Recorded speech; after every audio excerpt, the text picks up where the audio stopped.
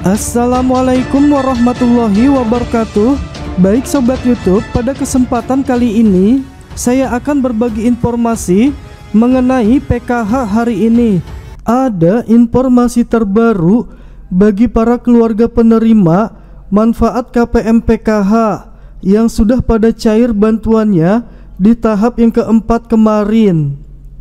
Nah ada kabar terbaru dan ini terkait nama penerima KPM PKH di pencairan bantuan PKH tahap 1 di tahun 2023 ini. Bahwasanya akan ada bantuan tambahan yang bisa diterima oleh KPM PKH kategori ini.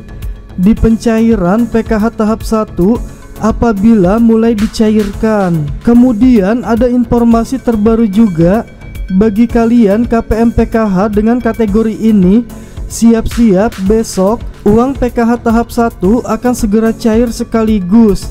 KPM PKH ini mendapatkan satu bantuan tambahan pelengkap yang diprediksi proses pencairan bantuan PKH tahap 1 di tahun 2023 ini akan segera dicairkan dalam waktu dekat ini. Nah kira-kira bantuan tambahan apa yang bisa diterima dan dirasakan manfaatnya oleh KPM PKH di tahun 2023 ini. Simak terus videonya sampai selesai dan jangan di skip-skip agar kalian tidak salah memahami informasinya.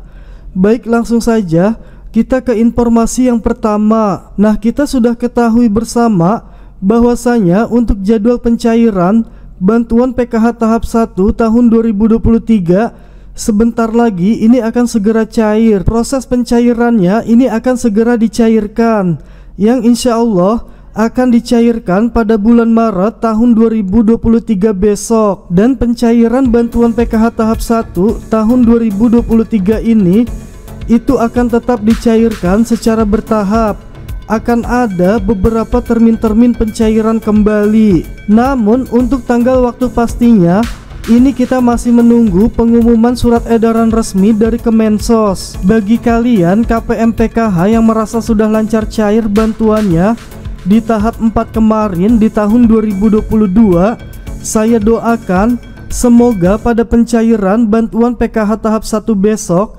Semoga bantuan PKH kalian akan tetap lancar cair, tidak ada masalah apa pun. Kemudian selanjutnya ada bantuan tambahan uang tunai yang bisa diterima KPM PKH bila pada pencairan PKH tahap 1 sudah mulai dicairkan.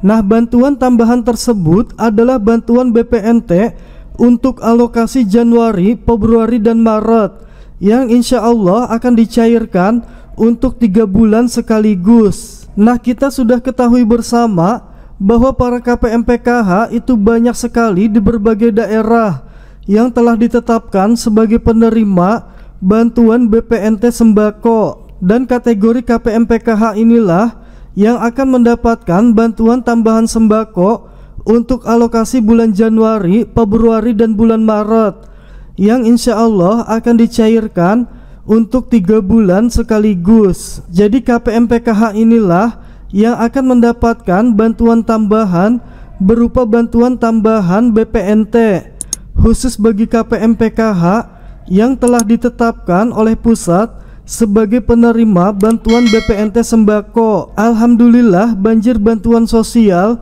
di tahun 2023 ini dan ini akan segera dimulai proses pencairannya. Nah demikian tadi informasi PKH terbaru hari ini. Semoga saja informasi ini dapat bermanfaat bagi kita semua. Terima kasih atas perhatian teman-teman. Jangan lupa tekan tombol like-nya ya. Dan silahkan di-share di media sosial teman-teman Jika dirasa bermanfaat. Wassalamualaikum warahmatullahi wabarakatuh. Dan salam sejahtera bagi kita semua